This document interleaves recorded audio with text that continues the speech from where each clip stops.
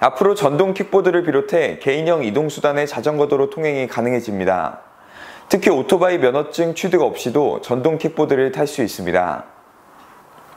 18일 대통령 직속 4차 산업혁명위원회는 서울 광화문 KT 빌딩에서 이러한 내용을 골자로 한 제5차 규제 제도혁신 해커톤의 논의 결과를 발표했습니다. 위원회는 지난 14일과 15일 양해간 집중 토론을 벌인 끝에 개인형 이동수단 확산에 따른 규제 gray zone 해소, 식품의 기능성 표시 규제 혁신을 통한 활성화 방안 등 두 개 의제를 두고 규제 해제에 초점을 맞추는 방안으로 의견을 모았습니다. 위원회는 개인형 이동수단 이용자의 안전 확보와 유관산업 활성화를 위해 25km/h 이하 속도의 전동 킥보드 등 개인형 이동수단은 자전거 도로 주행을 허용하기로 했습니다. 또한 개인형 이동수단은 전기 자전거에 준하는 수준으로 운전면허를 면제합니다.